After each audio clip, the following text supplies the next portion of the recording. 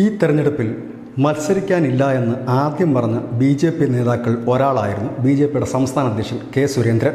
എന്നാൽ അദ്ദേഹത്തിന് വേണ്ടി കോന്നിയിൽ തെരഞ്ഞെടുപ്പ് പ്രവർത്തനങ്ങൾ അവിടുത്തെ പ്രവർത്തകർ ആരംഭിക്കുകയും ചെയ്തിരുന്നു.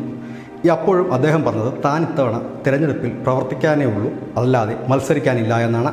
പക്ഷേ പെട്ടെന്ന് അദ്ദേഹത്തെ കേന്ദ്ര നേതൃത്വം മത്സരിക്കാനായി നിർബന്ധിക്കുകയും അദ്ദേഹം മഞ്ചേശ്വരത്ത് എത്തുകയും ചെയ്തു. എന്തുകൊണ്ട് അദ്ദേഹം മഞ്ചേശ്വരത്ത് നാമനിർദ്ദേശ പത്രിക നൽകി എന്ന് നമുക്ക് നോക്കാം. അതിന്റെ പ്രധാനപ്പെട്ട കാര്യം മാസങ്ങൾക്ക് മുമ്പ് തന്നെ മഞ്ചേശ്വരം മണ്ഡലത്തിന്റെ തിരഞ്ഞെടുപ്പ് ചുമതല കർണാടക സംസ്ഥാന ബി ജെ പി ഘടകത്തിന് കേന്ദ്ര നേതൃത്വം നൽകിയിരുന്നു. നളിൻകുമാർ കട്ടീലാണ് ഇപ്പോൾ കർണാടക ബി ജെ പിയുടെ സംസ്ഥാന അധ്യക്ഷൻ. അദ്ദേഹം മംഗലാപുരത്തുകാരനാണ്. മഞ്ചേശ്വരം മണ്ഡലവും മാത്രമല്ല കാസർഗോഡ് ജില്ലയുമായി അടുത്ത ബന്ധം പുലർത്തുന്ന ഒരു നേതാവ് കൂടിയാണ്. അദ്ദേഹത്തിനാണ് മഞ്ചേശ്വരം മണ്ഡലത്തിന്റെ മുഴുവൻ ചുമതലയും നൽകിയിരിക്കുന്നത്. അതുകൂടാതെ മൂന്നോളം സംസ്ഥാന മന്ത്രിമാരെ അതായത് കർണാടകത്തിലെ മൂന്നോളം സംസ്ഥാന മന്ത്രിമാരെ മഞ്ചേശ്വരത്ത് മാത്രം പ്രവർത്തിക്കാനായി ബി ജെ പി നിയോഗിക്കുകയും ചെയ്തു. അതായത് മഞ്ചേശ്വരത്തിന്റെ തിരഞ്ഞെടുപ്പിന്റെ മുഴുവൻ ചുമതലയും കേരള സംസ്ഥാന ഘടകത്തിനല്ല പകരം കർണാടക സംസ്ഥാന ഘടകത്തിനാണ്. അതുകൊണ്ട് തന്നെ അവർ എല്ലാ തരത്തിലും ആളും അർത്ഥവും ഇറക്കി നേരത്തെ തന്നെ അവിടെ പ്രചരണം ആരംഭിച്ചിരുന്നു.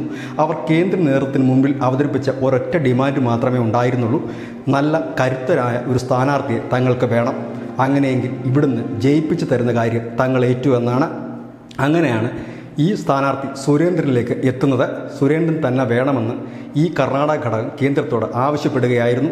അങ്ങനെയെങ്കിൽ ഇത്തവണ ബി ജെ അവിടെ ജയിപ്പിക്കുമെന്ന് നൂറ് ശതമാനം ഉറപ്പ്. B J P Karnataka unit കേന്ദ്രത്തിന് നൽകി.